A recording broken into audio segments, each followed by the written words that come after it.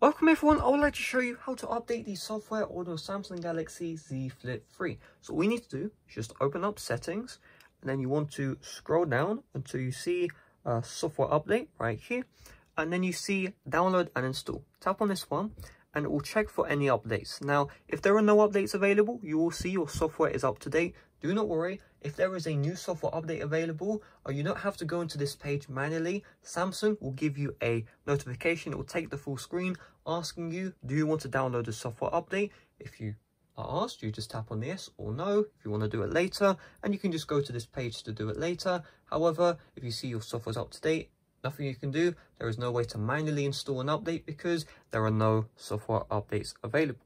So really, that's all there uh, is you need to know. So if this video helped you out, make sure to leave a like. But also check out my playlist of all the Samsung Galaxy Z Flip 3 tips and tricks. That is in the playlist in the end screens and the description. And um, yeah, see you guys later. Make sure to leave a like. Bye-bye.